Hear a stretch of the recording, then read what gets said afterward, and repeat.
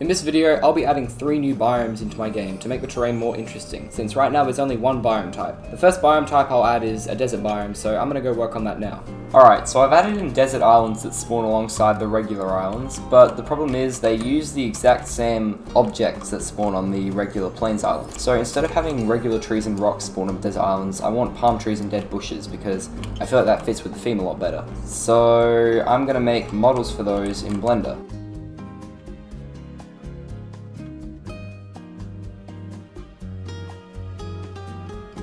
Alright, so I've added in some palm trees. I think they look quite nice. Oh, and I also put in these little sandstone rocks as well to match the ones on the other islands, but these ones are sand colored. Yeah, we got palm trees now. I think they look alright. The rocks could definitely be a lot better. Okay, I'm definitely gonna redo the rocks again, like for the third time. But anyway, the, the trees look quite nice, I think. For now, I'm pretty happy with the desert biome. As you can see on the scene view, we got a few desert islands, few regular islands. I think the next biome I'm gonna add is a forest, because I've been thinking about that one. I think a forest island would be quite nice. So, yeah, I'm gonna work on the forest island tomorrow, but I'm gonna go to bed now because it's almost midnight, so yeah.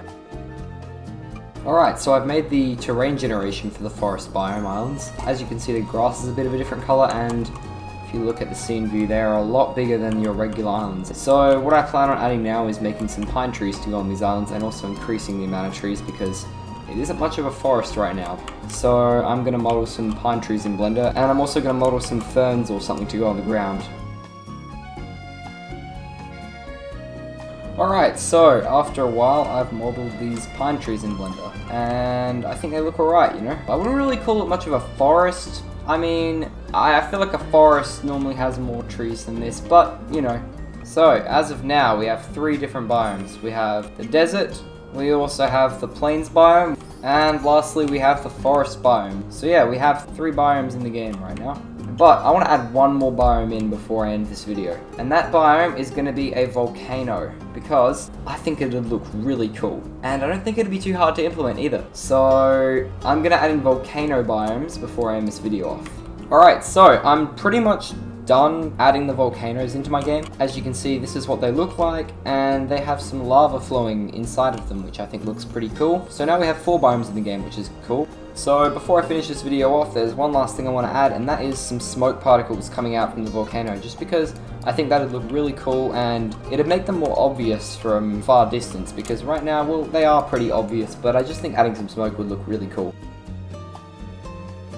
Alright, so I've added in the volcano. Here it is. And I've added in a smoke particle. And you can probably notice I've added in some fog as well, just around the islands so that they blend in a little bit more at long distances. So that's basically it for today's devlog. I've added tons of new biome variants into my game, you know, three I think. So there's four in total now.